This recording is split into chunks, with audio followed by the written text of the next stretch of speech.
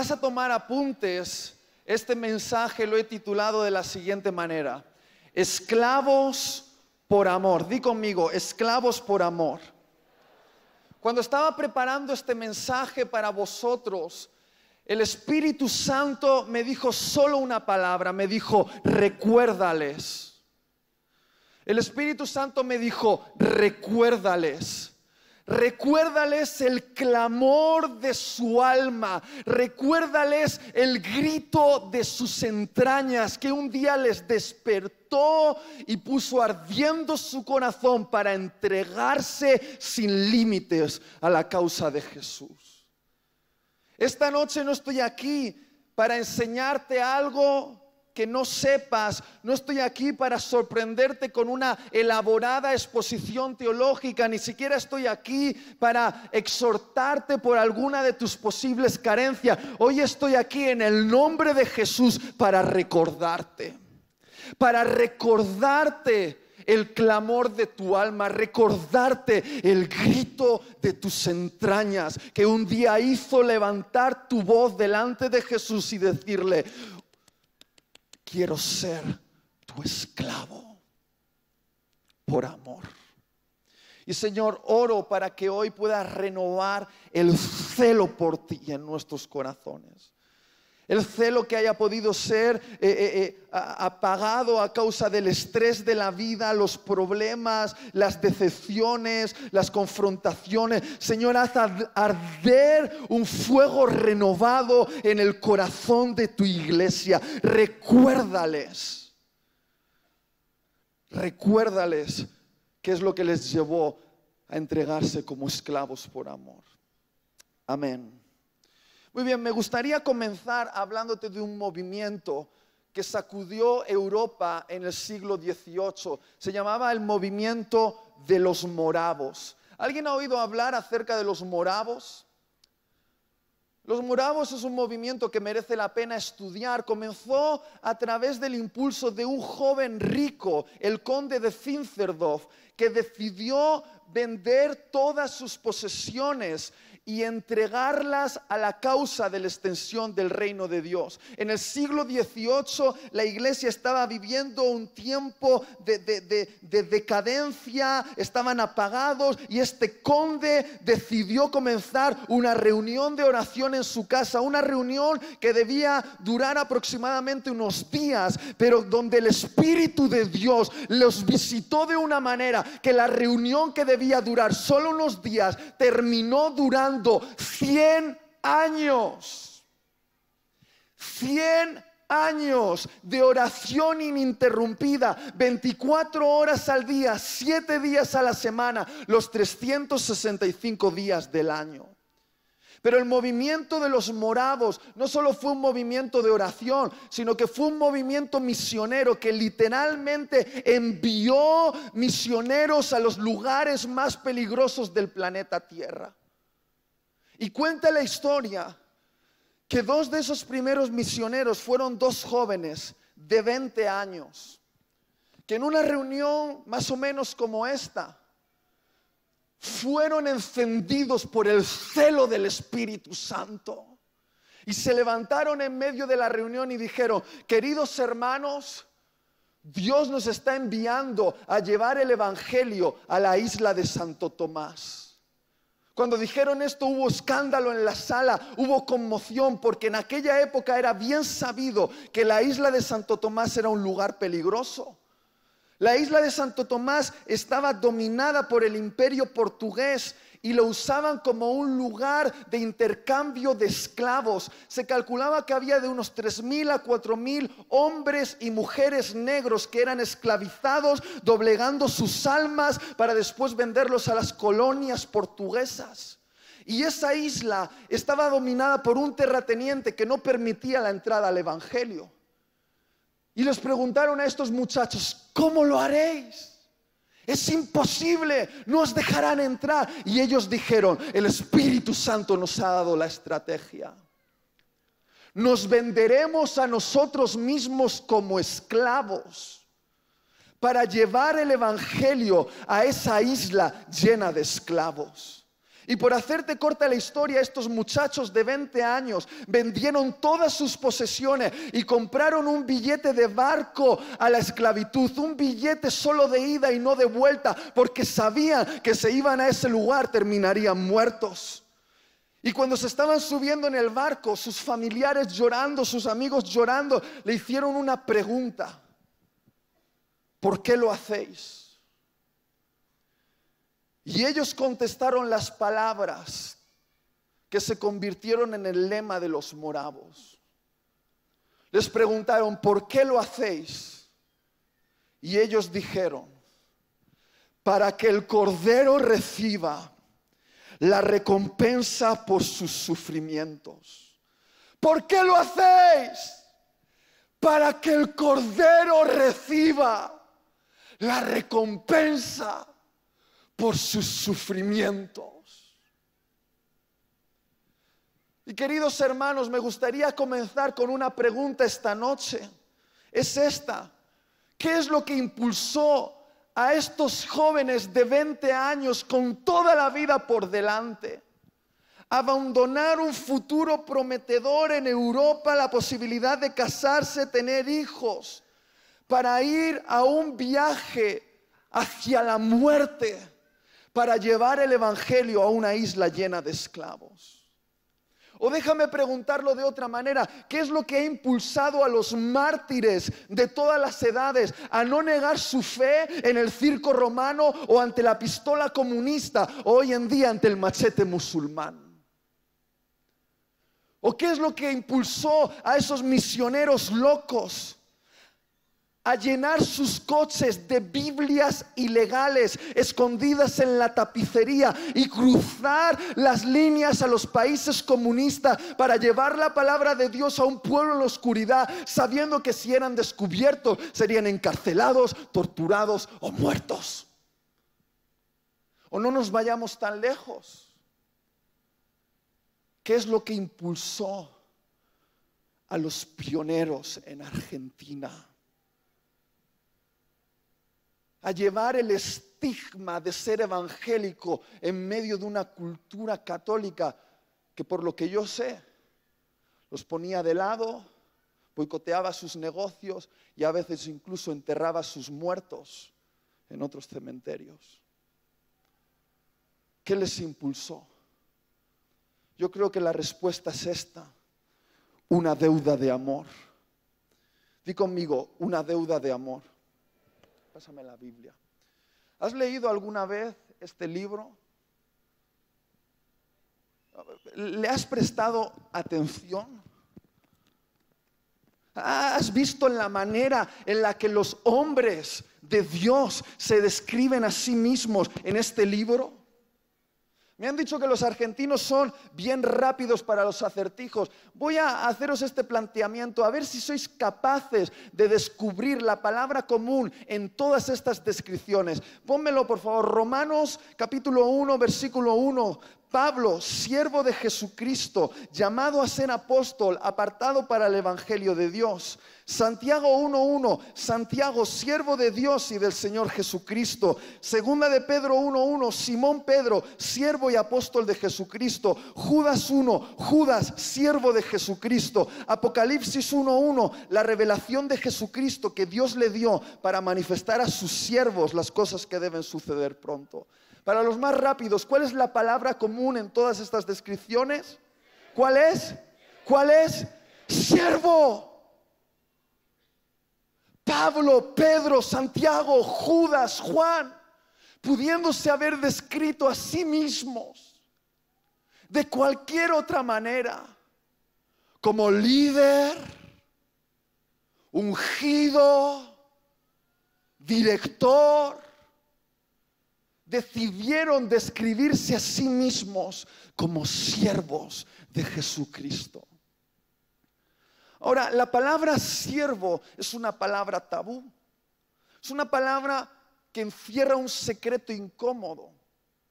Porque esta palabra siervo, la que se traduce en nuestras Biblias tradicionales, Reina Valera, se traduce de una palabra en griego que tiene más o menos esta forma, doulos. Y yo no he venido aquí a hacerme el inteligente de cuánto sé de griego, no tengo ni idea de griego, como yogures griegos. Me gustan. Pero sí me gusta leer acerca de los teólogos que entienden de griego y me sorprendió descubrir que en griego existen al menos seis palabras que perfectamente podrían haberse traducido al español como siervo, pero que doulos jamás debería haberse traducido como siervo, porque su única traducción posible no es siervo, sino esclavo.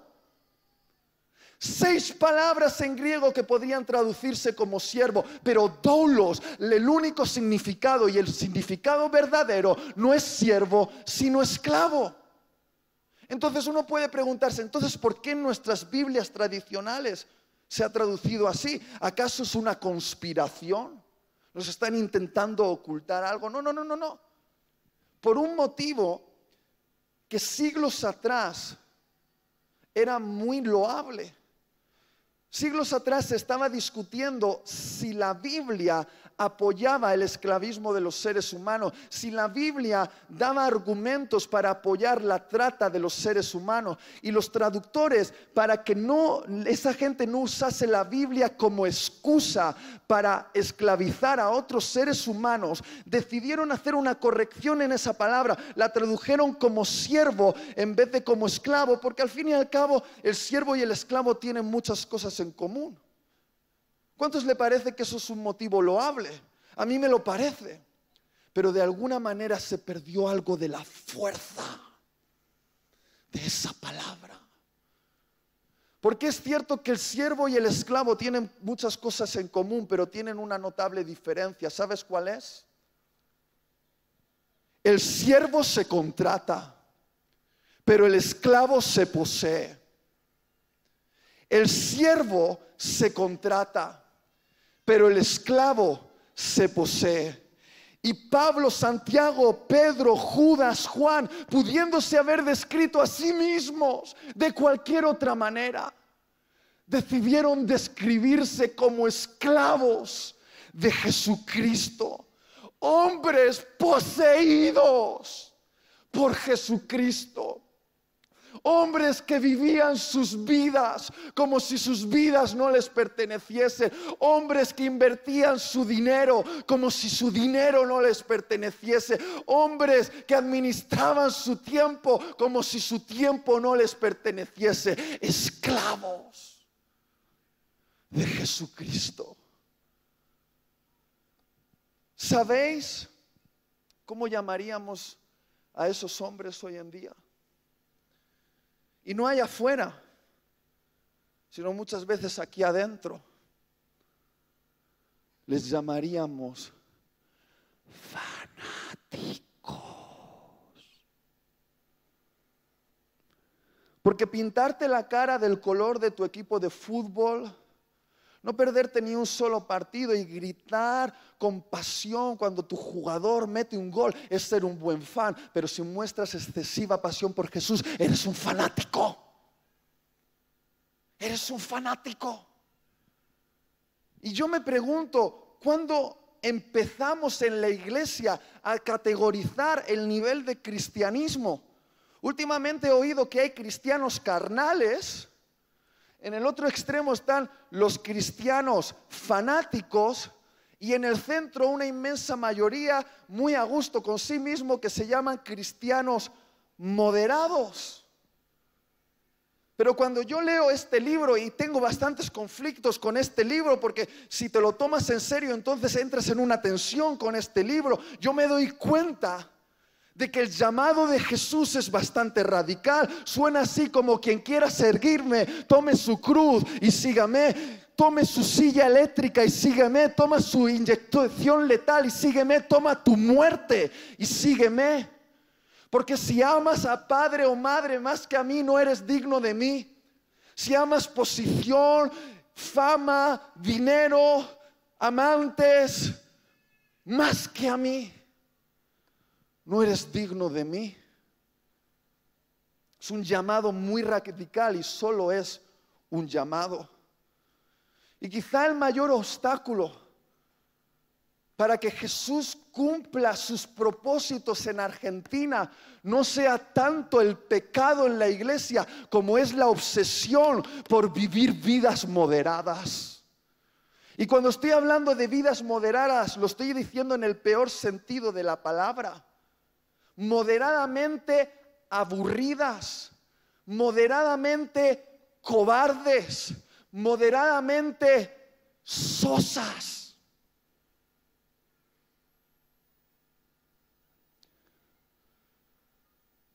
Cuando Satanás se dio cuenta de que no podía destruir el cristianismo con persecución, porque cuanto más presionaba a los cristianos y más sangre se derramaba eh, eh, en la vida de los mártires, esa sangre era como una semilla que se plantaba en la tierra y hacía surgir avivamiento. Cuando se dio cuenta de que la persecución no los detenía, empezó a acomodarlos.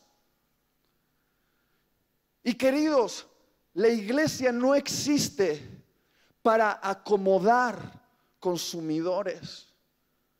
La iglesia existe para entrenar soldados.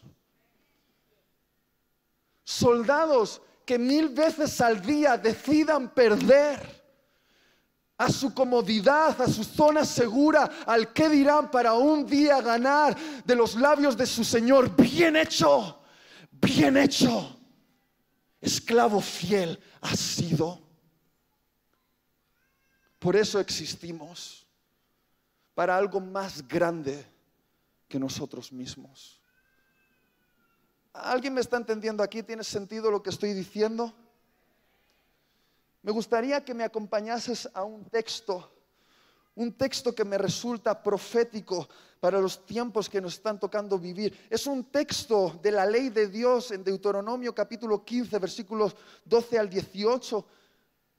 Era una parte de la ley de Dios para regular el trato que debía darse a los esclavos hebreos, pero tiene un mensaje. Tiene un mensaje para todos aquellos que quieren entregarse como esclavos a Jesús. Dice así, si se vendiere a ti tu hermano hebreo o hebrea y te hubiere servido seis años, ¿cuántos años? Al séptimo le despedirás libre. Y cuando lo despidieres libre, no le enviarás con las manos vacías. Le abastecerás liberalmente de tus ovejas, de tu era y de tu lagar. Le darás de aquello en que Jehová te hubiere bendecido y te acordarás de que fuiste esclavo en la tierra de Egipto y que Jehová tu Dios te rescató. Por tanto, yo te mando esto hoy. Si Él te dijere, presta atención, no te dejaré, porque te ama a ti y ama tu casa, porque le va bien contigo entonces tomarás una lezna y horadarás su oreja contra la puerta y será tu esclavo para siempre. Así también harás con tu esclava. No te parezca duro cuando le enviares libre, pues por la mitad del costo de un jornalero te sirvió seis años y Jehová tu Dios te bendecirá en todo cuanto hicieres. Wow.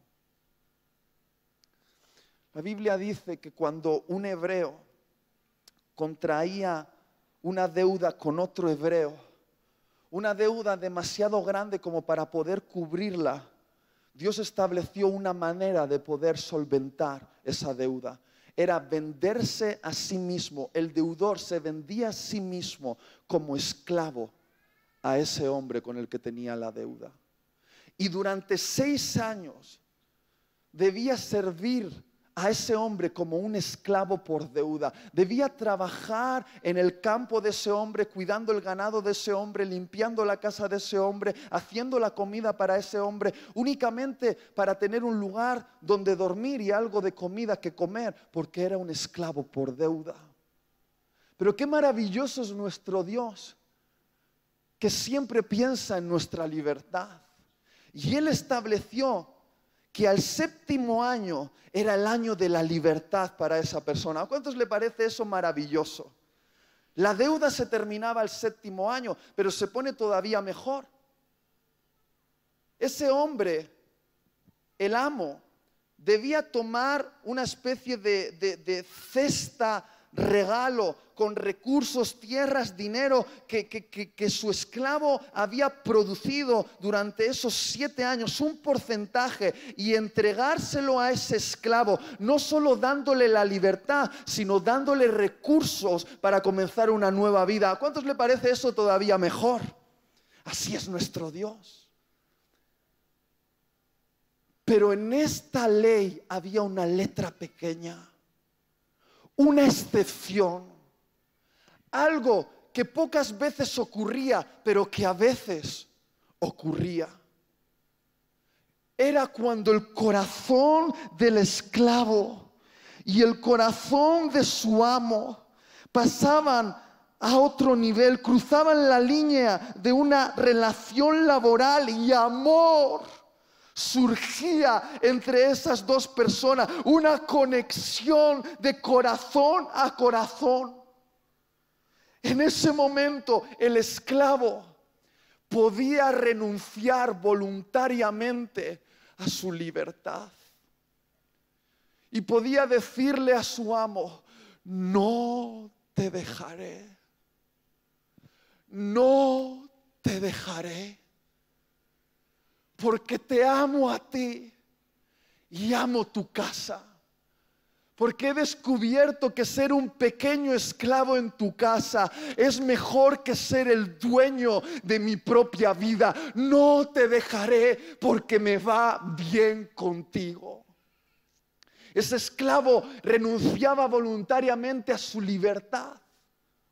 Entonces el amo tomaba al esclavo, hacía llamar a toda la familia y amigos y en una reunión frente a la puerta de la casa colocaba la oreja de ese esclavo contra la puerta y con una lezna horadaba su oreja y sangre, sangre sellaba un pacto que iba a hacer que ese esclavo se convirtiese en parte de la familia. Le ponían un sello como pendiente. Y en ese momento el amo miraba a todo el mundo y les decía, a partir de ahora, él ya no es un esclavo por deuda. A partir de ahora, él es un esclavo por amor. Y quizá para ti esto no signifique mucho. Pero para mí estas palabras se han convertido en mi santa obsesión.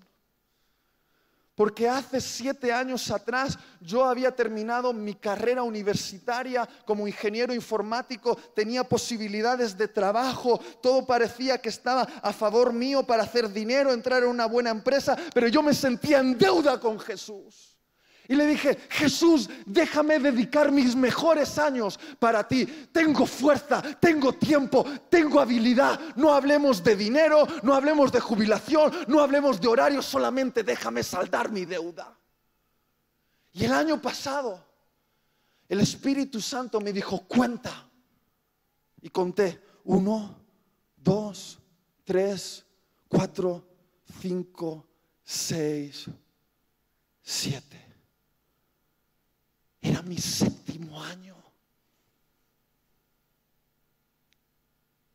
Y Dios me dijo, Itiel, si creías que tenías una deuda conmigo, ya está. Está saldada. Eres libre para vivir para tus propios sueños. Y no solo me dijo eso, me dijo, además te voy a bendecir. ¿Quieres entrar a una empresa? Te va a ir bien. ¿Quieres montar un negocio? Prosperará.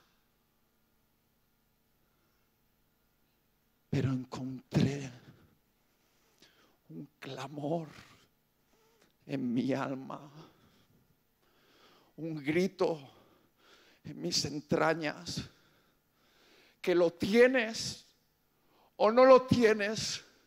No lo puedes manipular, no lo puedes forzar, ni siquiera puedes obligar al que está a tu lado a tenerlo.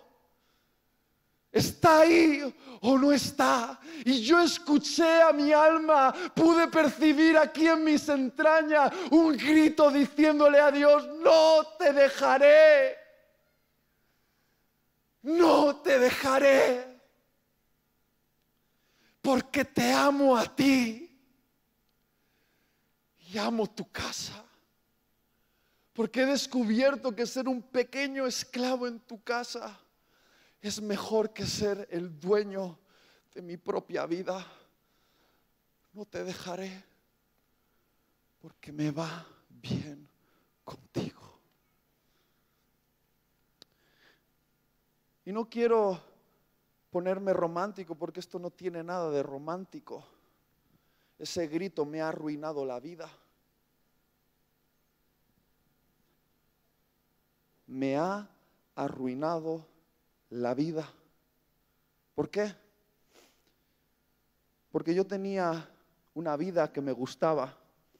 Tenía mis propios sueños, tenía mi propia agenda, tenía mis propios deseos y me gustaban, eran míos y me hacían sentir feliz. Pero desde que ese grito resonó aquí dentro, ya no encuentro gozo en vivir para mí mismo.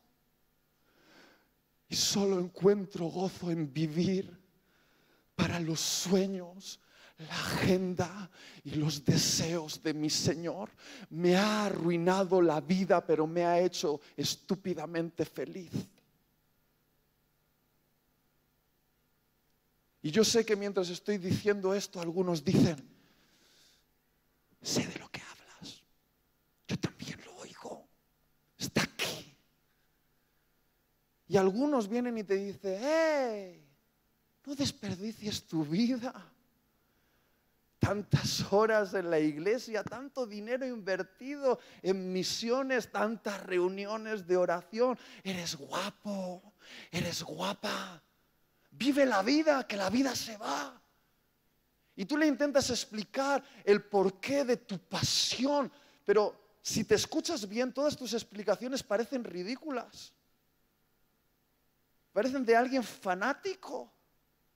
Pero te voy a decir algo, es que no tienen por qué entenderte.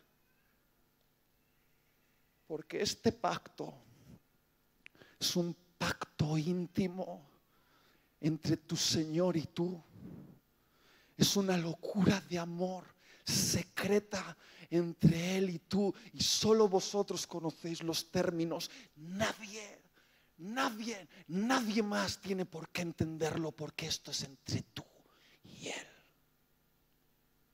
Pero déjame pensar contigo, ¿quiénes son realmente los que están desperdiciando su vida y quiénes están haciendo la mejor inversión?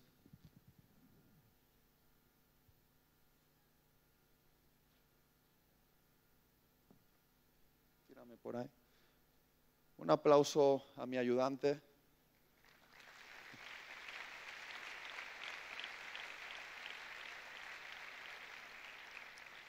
Quiero ayudarte a ver esto en perspectiva. Pásame la parte azul un momento. Lo vamos a lograr.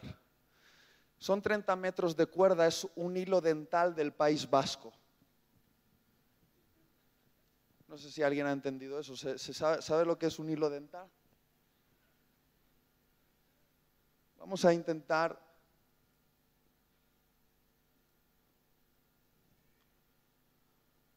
No pasa nada, lo lograremos. Voy a seguir hablando mientras se consigue esto. Quiero que veas esta cuerda bien. 30 metros de cuerda. Esta cuerda va a representar la línea de tu existencia esta noche. ¿Está bien? Ahora, si realmente esta cuerda representase bien la línea de tu existencia, esta cuerda no debería medir 30 metros, sino que tendría que ser una cuerda infinita. ¿Sabes por qué? porque tú eres un ser eterno. ¿Cuántos saben eso? Ahora quiero que observes bien la cuerda y que observes bien las proporciones. ¿Ves esta parte azul? ¿La ves bien? Ahora, ¿ves esta parte blanca? Rápido, tira para atrás, rápido, rápido. ¿Ves esta parte blanca? ¿La ves bien? Esta parte azul representa tu vida sobre el planeta Tierra. Y esta parte blanca representa tu vida en el mundo venidero, representa tu vida en el cielo, representa tu vida en el lugar celestial. Esta parte azul, mírala bien, es tu vida en este planeta Tierra, en este mundo, en esta dimensión. Y esta parte blanca representa tu vida en el lugar eterno, en el cielo, en el mundo celestial. Ahora dime algo, ¿qué tamaño puede tener esta parte azul? 70 años, 80 años, 90. Si vives una vida muy aburrida, te vas a la montaña a vivir, no tienes celular y no comes hamburguesas. 100 años. Pero ¿qué son 100 años comparado con millones de millones de millones de años en la eternidad? 100 años comparado con millones de años en la eternidad. Ahora, me sorprende lo obsesionado que estamos por esta pequeña franja azul la cantidad de tiempo, esfuerzo y dinero que invertimos para crear tesoros en esta franja azul y lo descuidado que tenemos esta franja blanca. Obsesionados por, ah, estaré a la moda, tendré suficiente para comprarme la casa de mis sueños, con el coche de mis sueños, con el perrito de mis sueños. Ay, no me han puesto muchos likes en el Facebook, no tengo muchos seguidores en Instagram. Obsesionados por las insignificancias de esta parte azul. Ahora, como ministro evangélico me ha tocado estar en muchas bodas y en algunos que otros funerales. Y me he dado cuenta de que hay más sabiduría en los funerales que en las bodas. ¿Sabes por qué? Porque en los funerales tú te das cuenta de realidades que generalmente en el día a día pasan inadvertidas. En mi último funeral me di cuenta de un detalle, que al muerto, con todo mi respeto, lo metieron en el ataúd sin las llaves de su coche, sin sus cuentas bancarias, sin sus papeles de propiedad de la casa, sin su iPhone. Le metieron con un trajecito por no meterle desnudo. Pero en un funeral, cuando miras esa caja, te das cuenta de una verdad a este mundo, desnudo vienes y desnudo te vas. Y quizá no pienses demasiado en eso porque estás muy concentrado en esta franja azul, pero querido hermano, un día morirás. Dile al que está a tu lado, vas a morir. Pero díselo con cara así como dulce, vas a morir.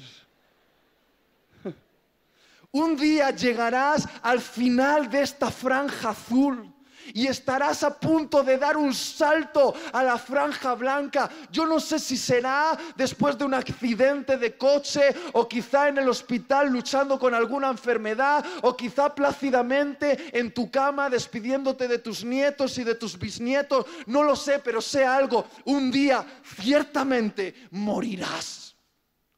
Y ese día el día que estés a punto de cruzar la frontera entre la franja azul y la franja blanca, no te importará cuánto dinero tienes en el banco. No te importará cuántos seguidores tienes en tus redes sociales. No te importará cuántos coches en tu garaje, ni cuánta ropa en tu armario, ni cuántos perfumes en tu tocador. Ese día, el día de tu muerte, el día que revela las cosas realmente importantes, solo tendrás una pregunta. He invertido mi vida en esta franja azul en algo que pueda perdurar eternamente.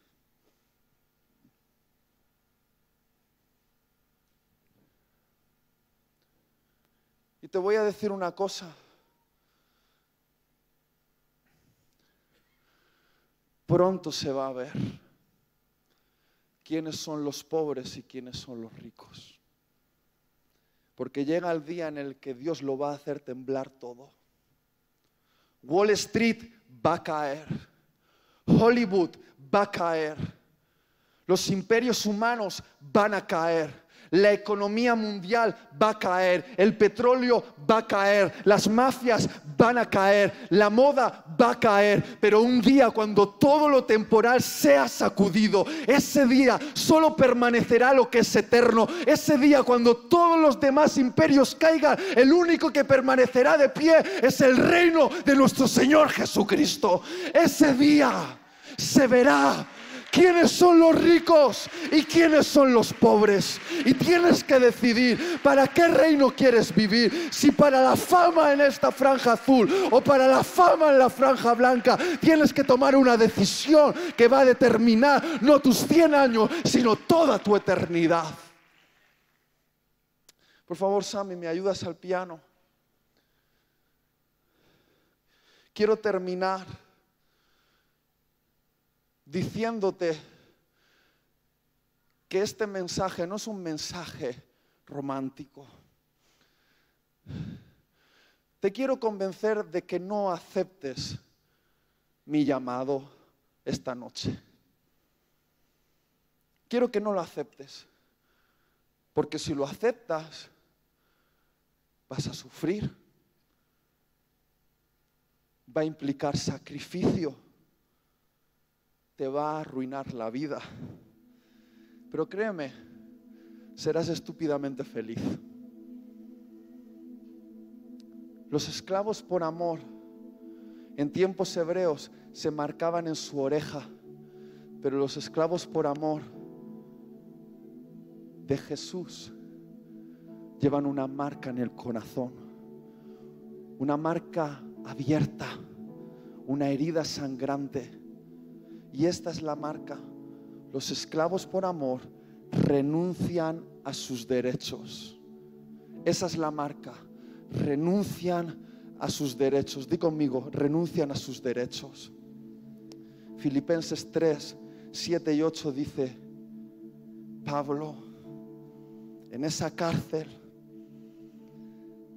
con su espalda abierta por los últimos latigazos, escribiendo la carta con una vela, habiendo sido traicionado muchas veces, habiendo estado a punto de morir, pasando frío, pasando hambre, pero con una sonrisa en su rostro, escribe a la iglesia, no un mensaje de victimismo, sino de triunfo.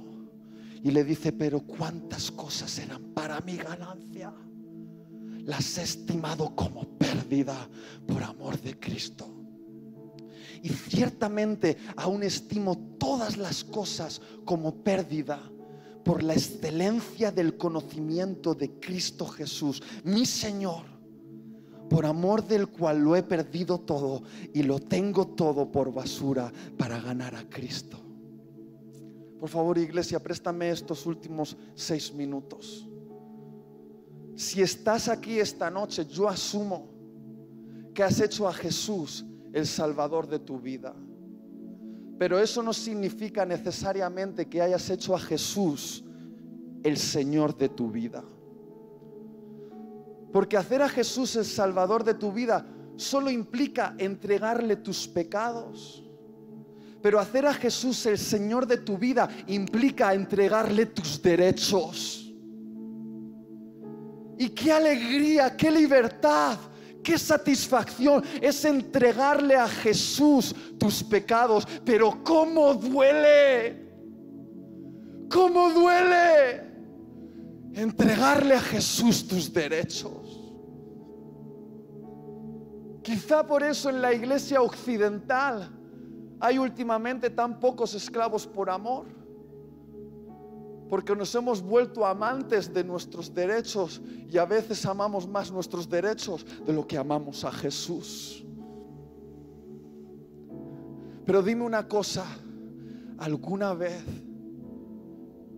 le has preguntado a uno de los pioneros en esta tierra, una anacondia, un velar? Otros que vosotros conocéis, te has parado y le has dicho, cuéntamelo. perdiste? Y tú quizás esperas que ellos lloren, dicen, es que perdimos, perdimos muchas cosas. Pero no. Ellos dicen, no, ¿qué perdiste tú? ¿Qué perdiste tú?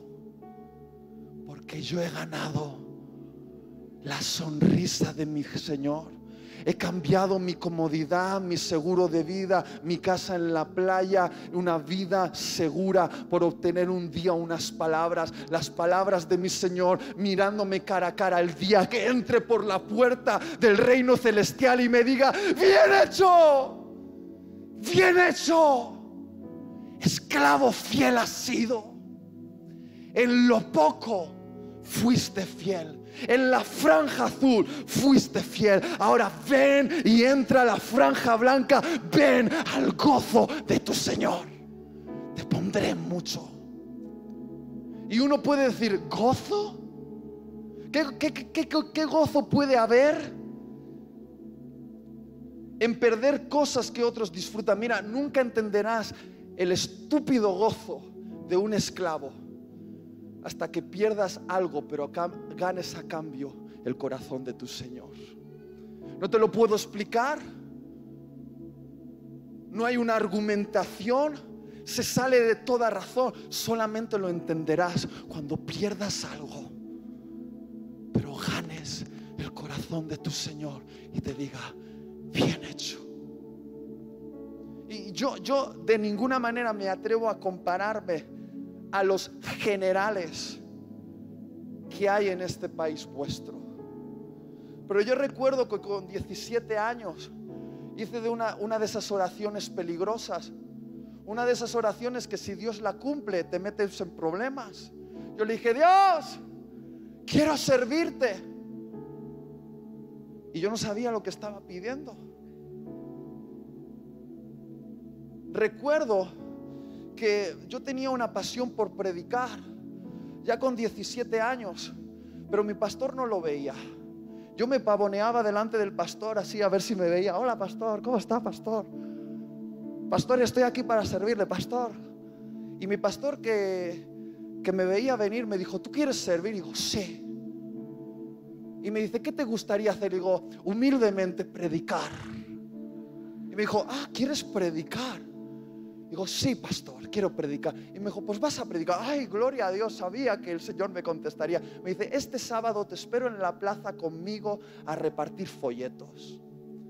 Y yo recuerdo que era un día de sol, que en la zona donde yo vivo un día de sol es un milagro.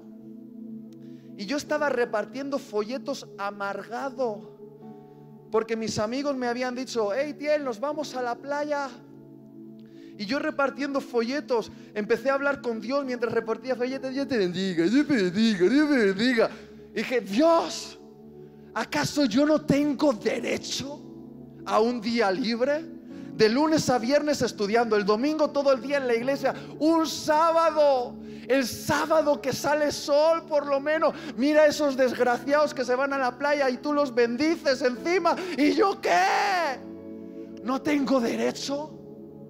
Y escuché la voz de Jesús como una bofetada, pero tierna. Y me dijo, ellos pueden, pero tú no. Ellos pueden, pero tú no, porque tú eres mi esclavo. Recuerdo que empecé a predicar y no sé cómo mi, pastor me soportaba, porque lo liaba todo. Ponía a Moisés en el arca, a Noé a punto de sacrificar a su hijo Matusalén, a Pedro recostado sobre el pecho de Jesús, lo liaba todo. Pero yo quería ser un predicador cool. Y se me ocurrió una brillante idea. Dije, si en Estados Unidos se ponen tatuajes y pendientes, yo también. Busqué versículos. A libertad nos ha llamado el Señor. No juzguéis por las apariencias. Me hice el listado y fui donde mi pastor. Pastor, quiero ser un predicador a la moda. Y, y me dijo, ¿y cuál es tu plan? Le dije, ponerme un pendiente. Y me dijo, ¿dónde? Aquí. Y mi pastor me miró con esa cara de pastor.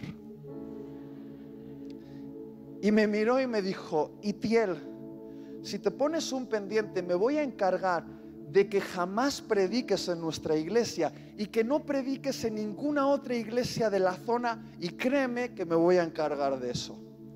Y me fui con mi Biblia ofendido diciendo, fariseo. Y me metí en mi habitación y dije, Dios, no tengo derecho a ponerme un pendiente. Mira a los predicadores americanos tatuados y con pendientes y tú los usas. Mira la salvación, los milagros. ¿Yo qué? ¿Acaso no tengo derecho a un pendiente? Eso dice algo de mi alma. ¿Por qué? ¿Qué pasa? Y Dios me dijo, me dio una bofetada de esas tiernas y me lo volvió a decir. Ellos pueden, pero tú no. Ellos pueden, pero tú no. Porque tú eres mi esclavo.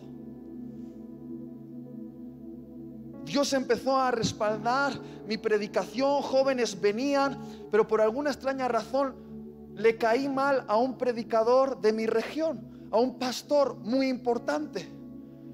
Y fue al consejo a argumentar de que yo era mala influencia para los jóvenes. Y decía, yo soy muy profeta, yo lo veo venir.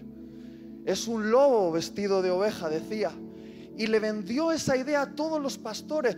Esos pastores que me estaban abriendo sus puertas, ahora me las estaban cerrando. Y yo me fui a mi habitación y le dije, Dios, no tengo derecho a defender mi nombre. Quiero ir al consejo de pastores y hablar en favor de mí, porque lo que se está diciendo no es verdad. ¿Acaso solamente Él puede hablar? No tengo yo derecho a defenderme. Y volví a escuchar al Señor una bofetada tierna otra vez y me dijo, ellos pueden, pero tú no. Ellos pueden, pero tú no. Porque tú eres mi esclavo. Y no puedo alargarme más porque el tiempo se ha agotado. Pero te podría contar derechos tras derecho tras derecho que he tenido que renunciar pero no lo digo con tristeza. Quizá una de las últimas cosas fue ver a todos mis amigos comprándose una casa. Yo le dije, Dios, me gustaría comprarme una casa. Pero no me lo digas, ellos pueden. Pero yo no, ¿verdad?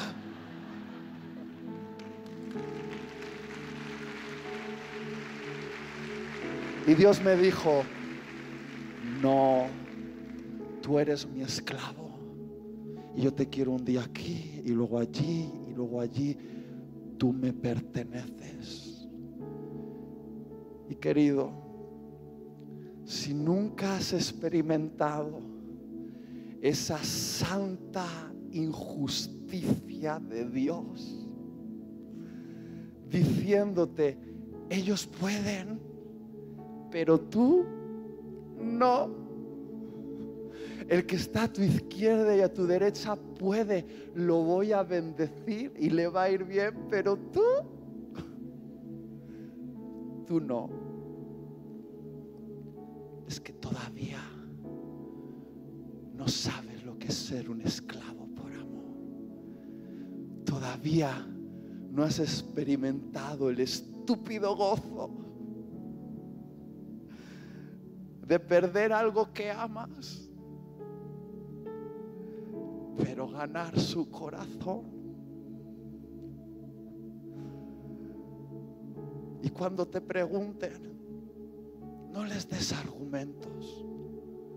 Solo levántate como esos moravos aquel día con el billete hacia la muerte, pero con una sonrisa en su rostro sabiendo que su corta vida en la franja azul no se podía comparar a la vida en la franja blanca y diles, lo hago para que el Cordero reciba la recompensa por sus sufrimientos. ¿Por qué lo haces, iglesia? Para que el Cordero reciba la recompensa por sus sufrimientos. ¿Por qué lo haces? Para que el Cordero reciba la recompensa por sus sufrimientos. Y si tú estás sintiendo ese clamor dentro de ti una vez más, levántate ahora Y di conmigo para que el Cordero reciba la recompensa por sus sufrimientos. Dilo para que el Cordero reciba la recompensa por sus sufrimientos. Dilo, iglesia, para que el Cordero reciba la recompensa por sus sufrimientos.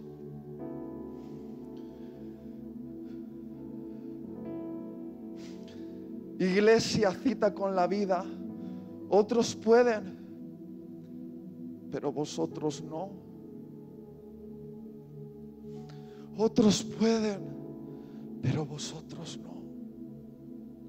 Porque sois esclavos de Jesucristo. Quique, ayúdame.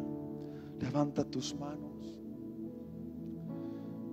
Sé que hay poco espacio aquí delante, pero si ya no aguantas ahí, sal corriendo y ven y arrodíllate aquí delante. Y si no tienes espacio, puedes arrodillarte ahí entre las sillas y dile, entre él y tú eso es algo íntimo. No tenemos que hacerlo público ni un escándalo, es una, una declaración de amor diciendo, Señor, renuncio a mi libertad. Soy libre, pero me hago esclavo por amor. Cuando todo caiga, al menos una roca en tu reino lleve mi nombre y diga, esa la puse yo. Esa la puse yo. Levanta tu voz a tu amo. Dile, mi amado amo, mi Señor Jesucristo, amado Señor, por el cual lo he perdido todo, pero he ganado el gozo inexplicable de tenerte a Él, porque cuando solo le tienes a Él, te das cuenta de que Él es todo lo que necesitas.